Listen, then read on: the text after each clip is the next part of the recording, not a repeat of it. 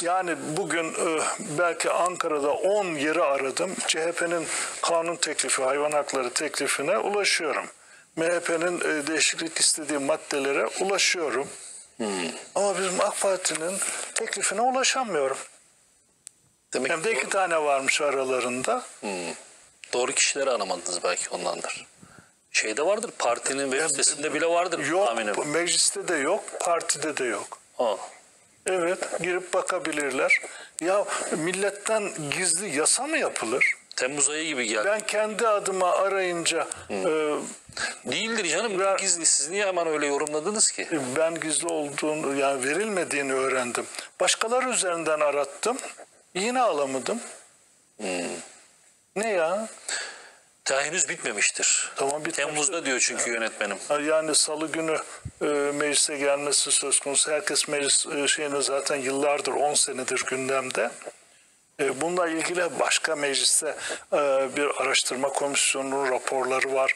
Aslında e, bizim tarlayı epey sürmüşler. Hmm, Muhsin Başkan'ın dediği gibi. Düşünsenize biz hala bu süreçte bir sürü içeriye data konmuş.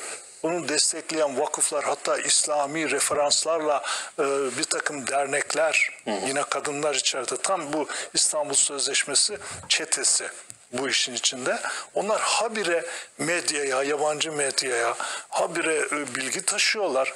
Bir sürü e, akademik makale yazılmış iktidarda olan AK Parti yardım ve beraber olduğu MHP değişiklik teklifini madde madde birkaç maddede özetlemiş. AK Parti niye E, eleştirirler diye eleştirsin zaten. Niye açıkça bunu gelip sivil toplumunda, basınında konuşmuyorsun? Basını kime anlatıyor? Batı'da gelen e, bir takım haberleri, yorumları almışlar, derlemişler, paketlemişler. Senin tarlanı onlar sürüyor. E şimdi de e, salı günü meclis açılacak. Çarşamba günü e, bunun e, gündeme komisyonlarda e, gündeme alınması bekleniyordu. Bakalım işte. AK Parti'nin biz de görürüz. ben tekrar bütün AK Partililere, sorumluluk duyan herkese söylüyorum. E, meclisin e, internet sayfasına da girin. AK Parti Genel Merkezi'nin e, internet sayfasına da girin. Hayvan hakları yasa tasarısı diye aratın bakalım ne bulacaksınız.